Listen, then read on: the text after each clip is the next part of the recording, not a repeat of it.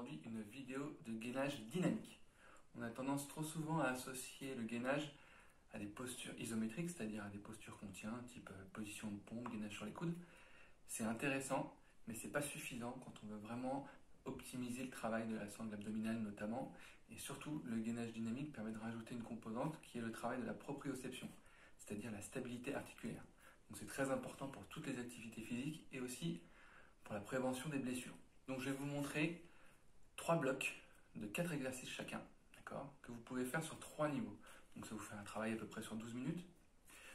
Donc euh, quatre exercices à chaque fois. On va dire que le niveau 1 c'est 30 secondes de travail, 30 secondes de récupération. Niveau 2 par exemple, 40 secondes de travail, 20 secondes de récupération.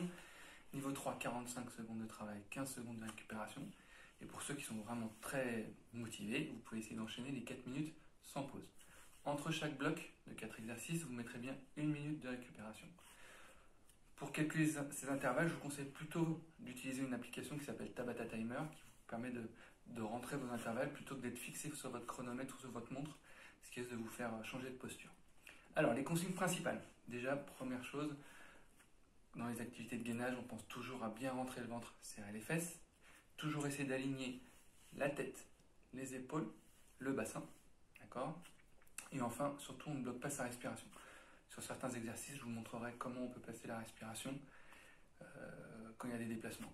Donc le principe du gainage dynamique est souvent basé sur, des positions de base, donc euh, position de pompe, position sur les coudes ou gainage latéral, mais on va rajouter du déplacement, soit du bras, soit de la jambe, soit des fois on va combiner les deux. Donc je vais vous montrer tous les exercices un par un. Je ne vais pas les faire 30 secondes à chaque fois, hein. je vous montre l'exercice avec les consignes principales et vous allez enchaîner les blocs. Avant de démarrer, évidemment, on pense à s'échauffer un petit peu. Là, je ne peux pas vous le montrer, mais vous pouvez faire un peu de corde à sauter si vous avez la place, ou éventuellement du jumping. Jumping jack. hop, je monte les épaules et j'écarte les jambes en même temps. À peu près sur 3-4 minutes. Et après, vous pouvez démarrer. Allez, c'est parti. Alors, premier bloc de 4 exercices. Première position. On se place bien. Position de pompe. On serre les fesses, on rentre le ventre. Je vais devant au centre, à droite, à gauche. Et j'enchaîne. 1, 2, 3, 4. Voilà. Première position. Deuxième position, je passe sur les coudes, mais je peux aussi le faire en position de pompe. Ça se prépare. Très bon exercice pour les grimpeurs. Je viens ici et je monte latéralement. Le genou au niveau du coude.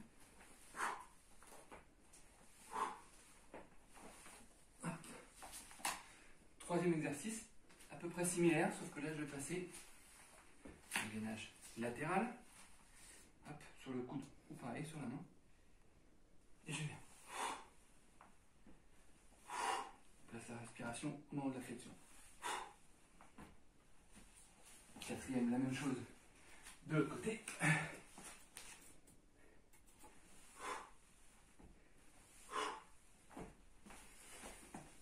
Voilà, là j'ai fait donc le premier bloc d'exercice. Là vous mettez bien une minute de récupération. Faites attention, j'ai oublié de le préciser. Les trois blocs que je vais vous montrer sont plutôt axés haut du corps. Si vous faites du marathon, une activité euh, qui sollicite beaucoup plus le membre inférieur, il y a d'autres exercices peut-être plus spécifiques. Ça ne vous empêche pas de faire cela évidemment. Deuxième tour. Un peu plus compliqué. Donc là, un exercice qui s'appelle le tapé épaule, qui est très intéressant pour la stabilité articulaire de l'épaule. Donc les grimpeurs, sport de combat, rugbyman, vous pouvez y aller. Position de. Stabilise et c'est parti.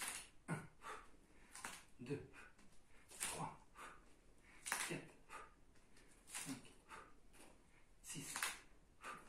Le but étant de bouger le moins possible le bassin. Deuxième exercice, position de pompe toujours. On va bien travailler les obliques, donc je vais ramener le coude, enfin le genou pardon, vers le coude opposé. Et c'est parti.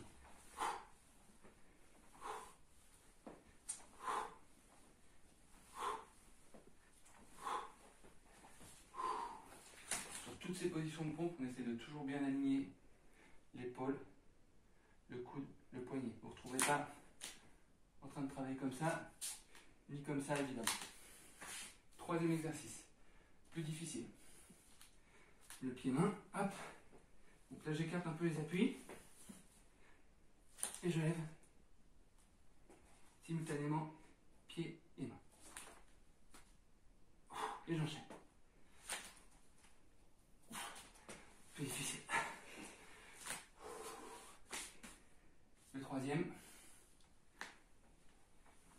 Je reprends ma position de pompe, j'aligne.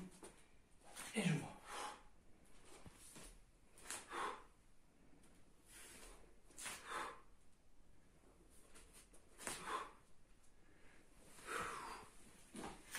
Vous avez fini le deuxième bloc de 4 exercices.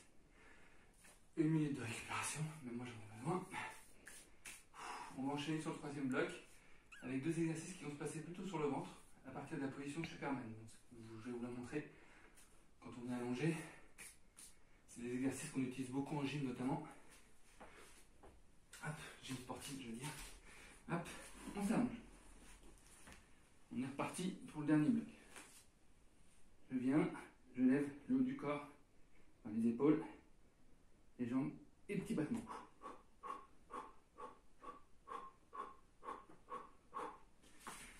On récupère.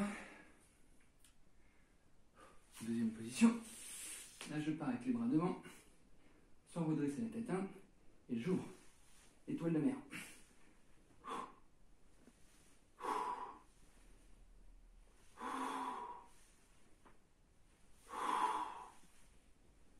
Et je relâche. Troisième exercice. Donc là, c'est un exercice qu'on utilise en général dans les sports de combat ou éventuellement si vous avez fait du hip-hop quand vous aviez 15 ans. Parti. On se met en position. Donc j'enfléchis bien en appui et je vais en diagonale.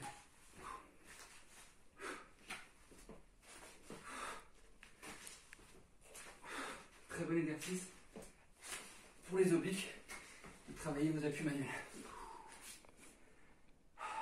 Et enfin, le dernier qui est un classique,